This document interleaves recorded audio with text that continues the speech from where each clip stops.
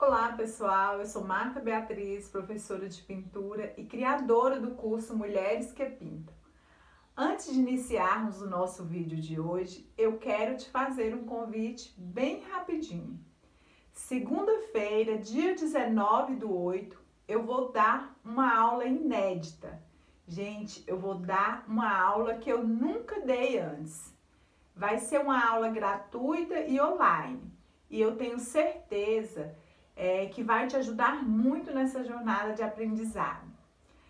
Para se inscrever é muito fácil. Aqui na descrição do vídeo tem um link para você garantir sua vaga. Qualquer dúvida, me chama no WhatsApp. Aqui na descrição também tem meu contato. Então, vamos lá dar início à nossa aula de hoje. Então, vamos começar pelo passarinho. Eu vou, eu vou pintar aqui um brasão com rosas ao seu redor, vai ficar maravilhoso, vocês vão ver. E é uma pintura diferente, uma coisa que eu nunca ensinei antes. No final, a gente vai ver como que vai ficar. Então, vamos iniciar aqui com branco no passarinho. Olha só, você pode vir aqui nessa parte com branco. Eu vou tentando explicar de uma maneira mais fácil para vocês entenderem. Aqui eu vou vir com areia nessa parte toda. Às vezes alguém vai falar, Marta, eu não tenho areia. É, é só você clarear um pouquinho é, o branco, colocar branco e marrom e deixa assim um, um tomzinho bem clarinho e você pode estar tá usando. Eu gosto de falar assim: a gente não pode deixar de pintar porque não tem a cor. É só você pintar com outra cor que você tem. E areia, às vezes, não é todo mundo que tem ele, né? Mas às vezes você tem um camurça, ou com, ou com camurça mesmo você consegue fazer o areia, basta misturar com branco. Não tem o camurça, usa só o marrom. Faz um tomzinho bem clarinho do marrom. Aqui também, num pedacinho aqui, olha, eu vou colocar um pedacinho aqui do rabinho dele, um pouquinho de... De camuça também. Camuça não, areia. Agora, nós vamos vir com camuça em toda essa outra parte, ó. Depois a gente vem com o marrom. O passarinho, ele não é difícil de pintar. Se você pegar essa sequência que eu tô ensinando aqui, muita gente me pediu para ensinar passarinho, por isso que eu que eu é, resolvi ensinar um passarinho. E esse passarinho é bem fácil. Eu vou pegar aqui o azul, olha só é preciso que você mancha e limpa bem no, no pincel, tira todo o excesso num paninho. Vou fazer um sombreadinho aqui em volta que eu esqueci de fazer. E é interessante fazer antes de pintar o passarinho, tá? Tá?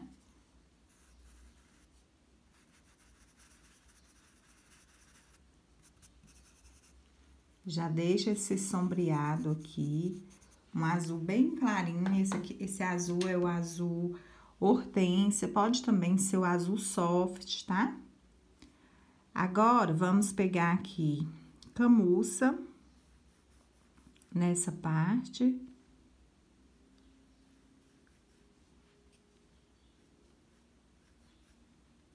E eu vou colocar o branco também.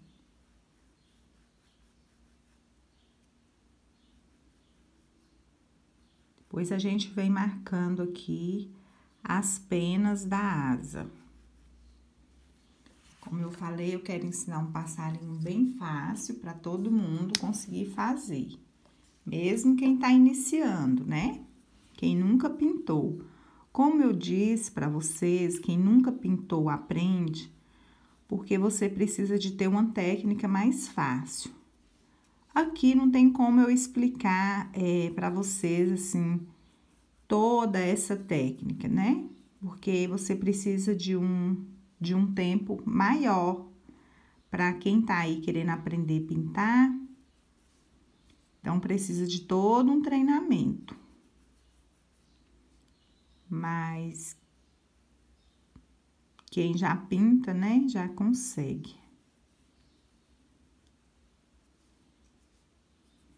Eu acho que pintura é maravilhoso pra gente, porque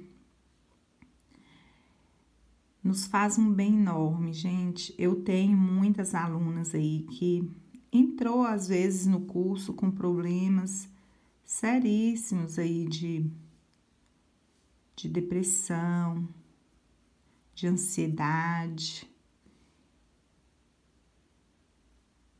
E como a pintura faz bem para elas. E a gente tem que buscar o que nos faz bem, a gente não pode, nossa vida é muito curta, nós não podemos deixar de viver, né, com essa viver com essa tristeza, deixar de viver as alegrias da vida, nossa família, né, é, os nossos dons, os nossos talentos. E às vezes muita gente fala assim: "Ah, eu não nasci com dom, mas nasceu com vontade". E todo mundo que tem vontade aprende. Eu sempre gosto de falar isso, porque às vezes tem gente que acha que é só dom e não, você precisa ter vontade. Quando tem vontade, aprende. Claro que muitas pessoas têm, né? Aquele dom para pintura, para as outras coisas, para culinária é, e tantas outras profissões também. Mas eu falo que o mais importante é a vontade. Então, aqui a gente já vai vir marcando as penas.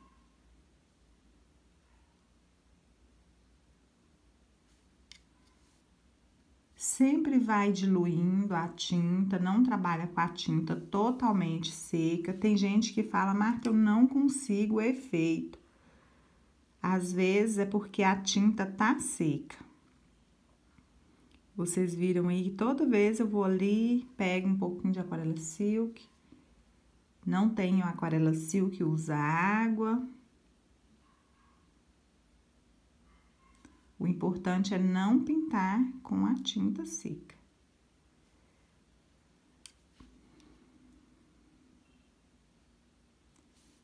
O bico eu vou fazer de marronzinho mesmo.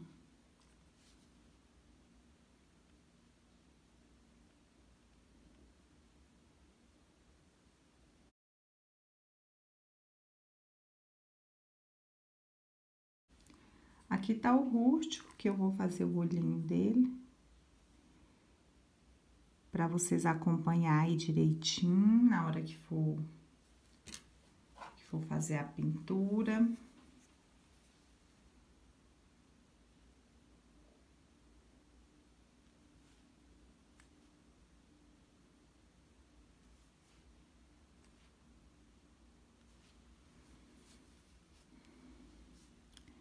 Aí está já prontinho.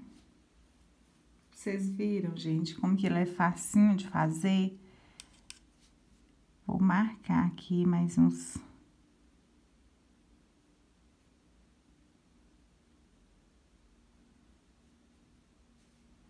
Então, quem tá começando e quer pintar passarinho, tem que pintar esses passarinhos assim, mais fácil, tá?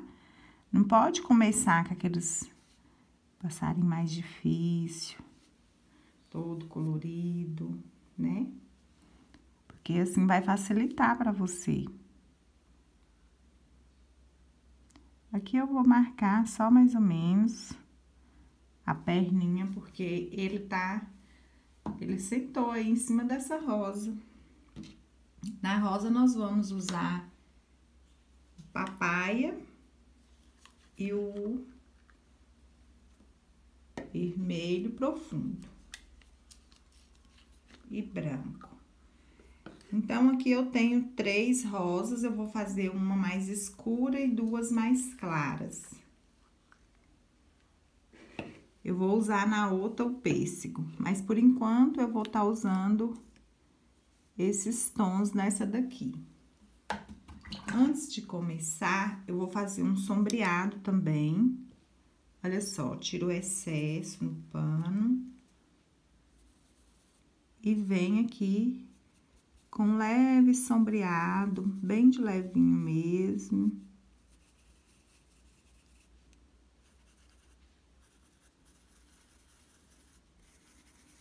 Depois a gente vai melhor esse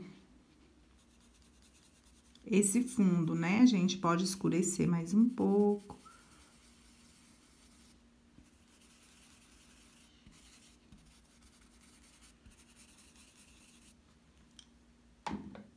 Vou mudar a câmera daqui a pouco aqui para vocês verem que a gente tá pintando um brasão aqui.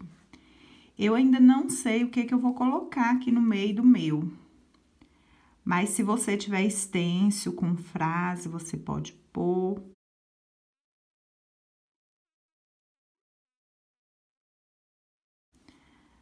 Essa aqui eu vou fazer ela mais escura, mas mesmo assim eu vou usar o branco. Então, iniciei aqui com vermelho profundo, depois eu vim com papaya. E agora com branco. Tem gente que fala, Marta, pintar rosa é muito difícil. É difícil quando você não tem uma técnica para aprender. Porque quando você tem uma técnica, é mais fácil.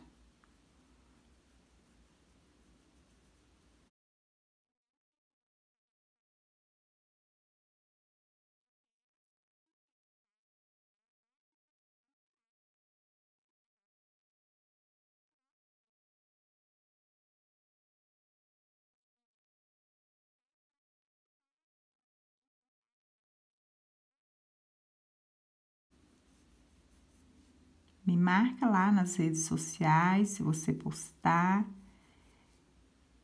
Eu fico muito feliz quando eu vejo.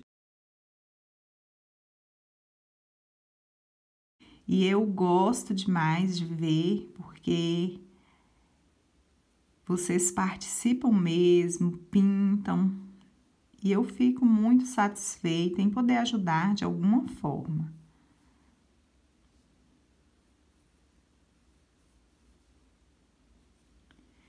Olha só, agora vamos aqui pro corte da rosa.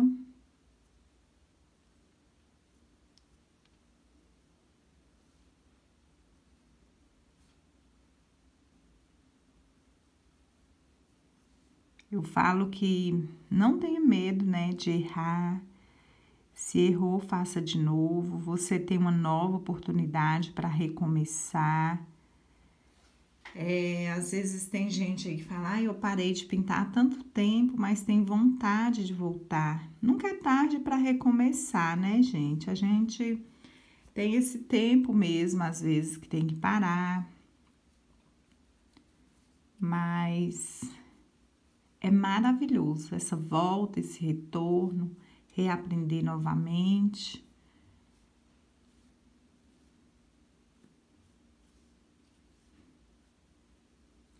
E eu fico muito feliz, viu, gente, com vocês participando aqui comigo. É um prazer muito grande. Olha só, aqui, como eu falei para vocês, essa aqui vai ser um pouco mais clara. Então, essa eu vou usar o pêssego. Você também pode usar outras cores.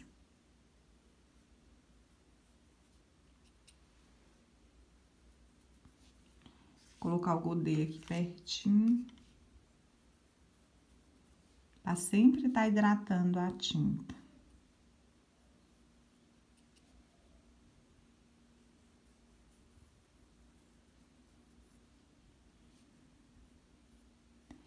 Esse brasão, ele vocês podem pintar também de toalha, porque fica lindo.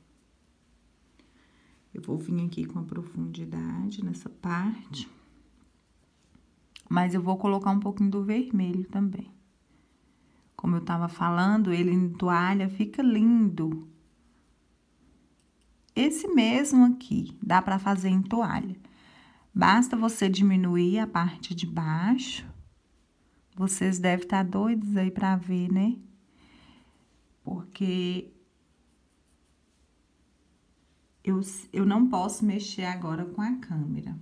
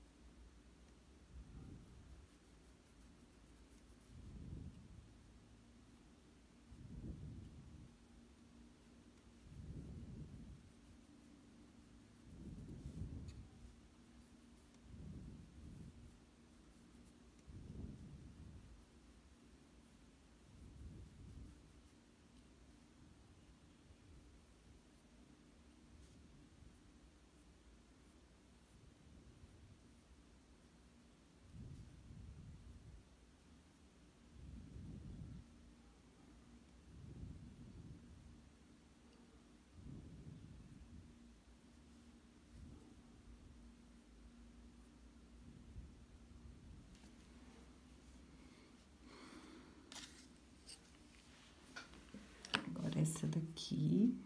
A mesma coisa. Vermelho profundo.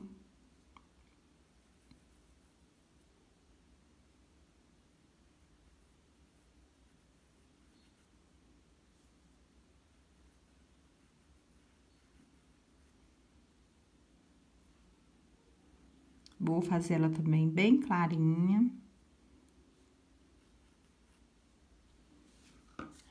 Agora o dedo do lado de cá.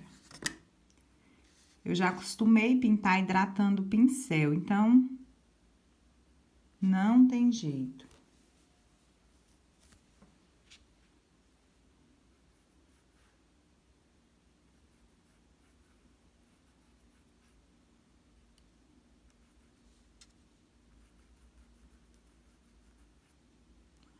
Minhas alunas estão aí também participando né? As alunas, é, teve muito comentários aí de algumas alunas do curso. Essas meninas, a gente tem uma, uma mentoria diária com elas. Então, assim, eu tô sempre avaliando aí o trabalho de todas. E a gente cria também uma amizade muito grande através do grupo, né? Temos um grupo aí no WhatsApp e é muito bom esse essa amizade que a gente constrói com as pessoas. Às vezes a gente nem conhece, mas tem um carinho tão grande que é como se a gente conhecesse há muito tempo. E isso tudo é porque a arte, a pintura, ela ela nos transforma, né? Nos faz ser assim, pessoas melhores. É, ali eu percebo que é uma ajudando a outra. Eu sempre tô ali agradecendo cada uma por ajudar, né? Por incentivar as que às vezes estão um pouco desmotivadas isso é maravilhoso, gente. A, amizade da gente é muito valiosa.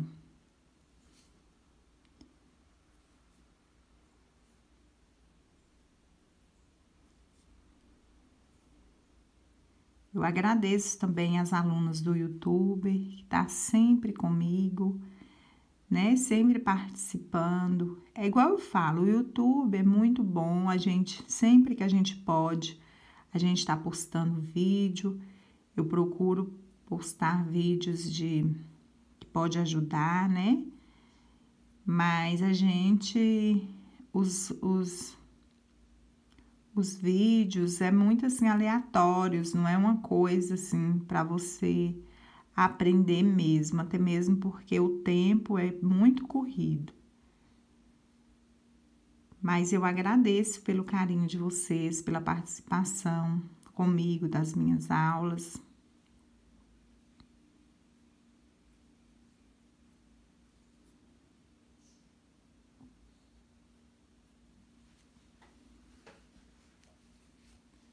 Agora, vamos passar para as folhinhas. Aqui eu vou usar o caque e o verde musgo claro.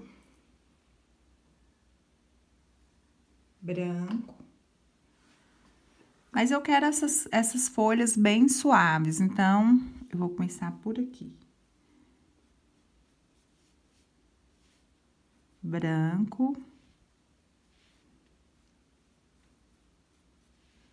verde musgo claro.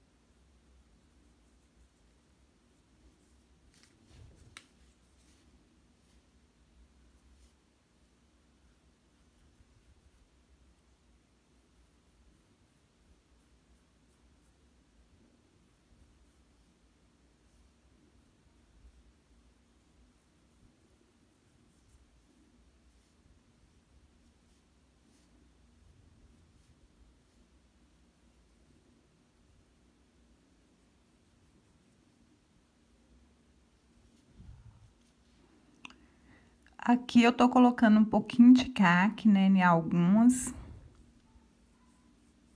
E algumas eu faço só com branco.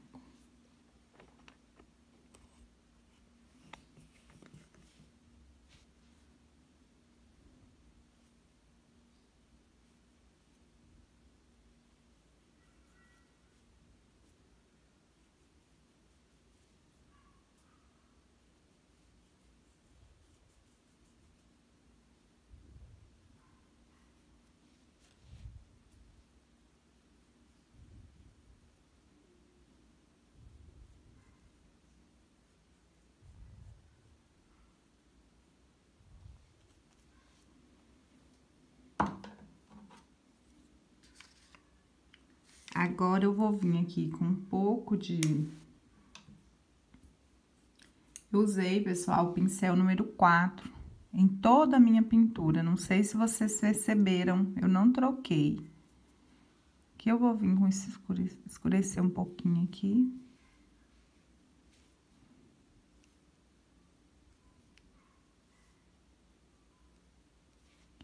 Então, eu usei, aqui eu vou vir com rústico, bem pouquinho. E peguei um pouquinho do papaya.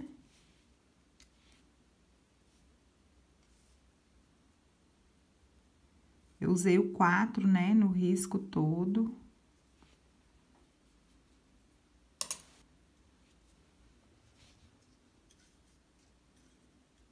Vou vir agora com caque.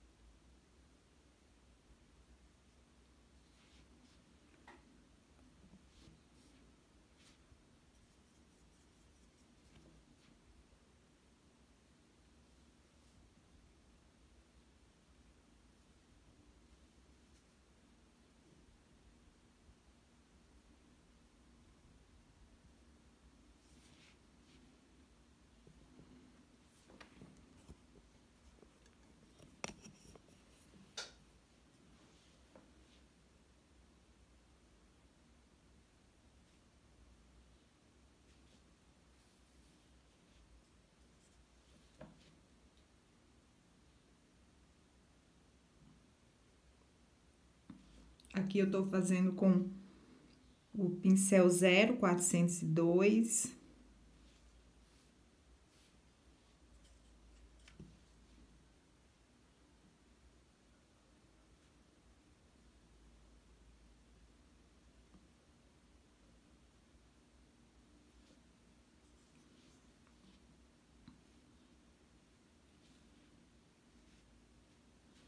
Eu tô aqui pensando o que que eu vou colocar no meu. Qual a frase que eu vou colocar.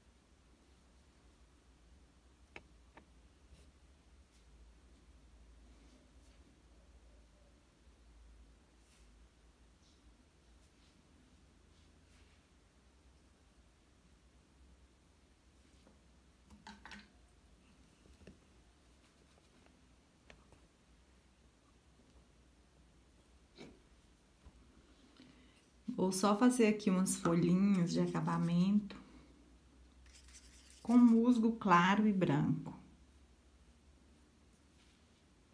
Tem que ser bem suave e mais ralinha a tinta.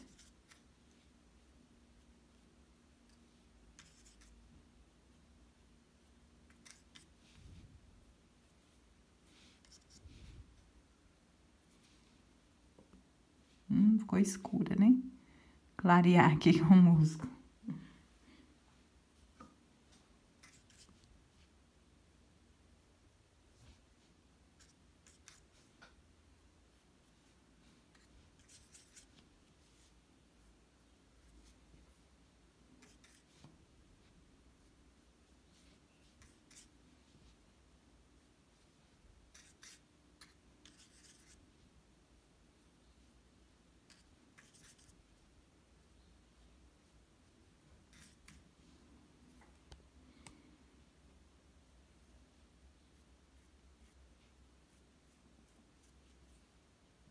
Olha aí que lindo.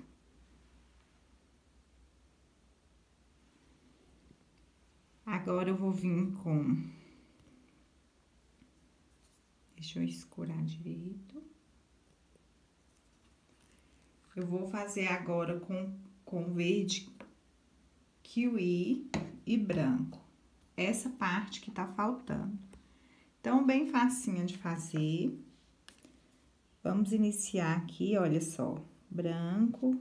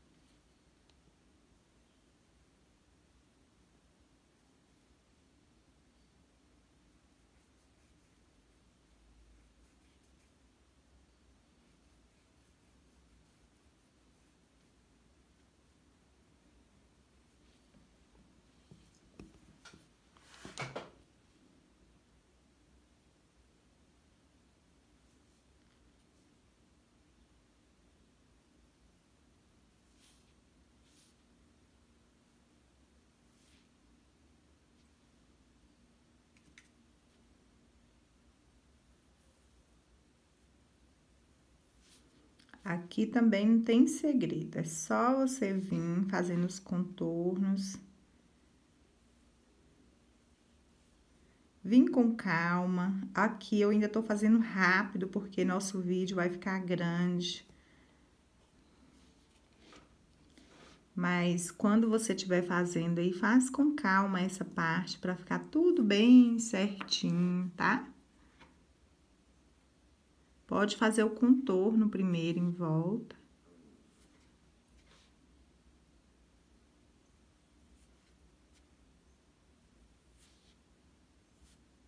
Depois vem só preenchendo.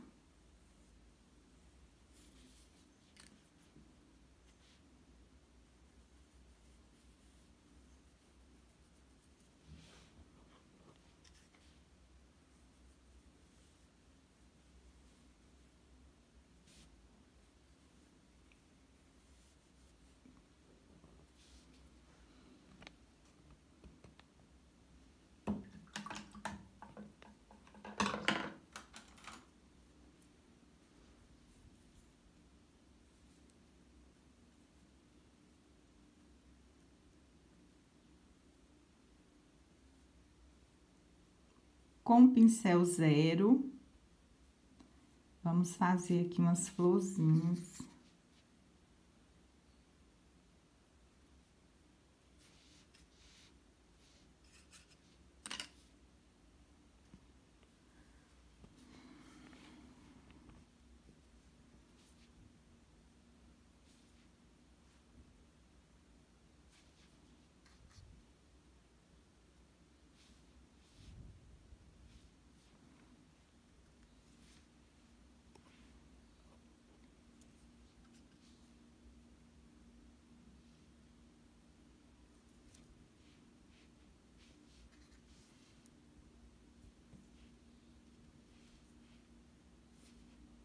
Aí você vai vendo onde que você vai colocando as florzinhas aí no seu. Depois a gente finaliza aqui. E assim que vai ficar. Olha só, agora vocês podem colocar a mensagem que quiserem. Deixa eu tirar aqui, que eu quero mostrar pra vocês o bico. Olha que lindo. Olha aí o bico acabamento do pano, maravilhoso, né? Aí, vou ver aqui que mensagem que eu vou estar tá colocando aqui no meu ainda.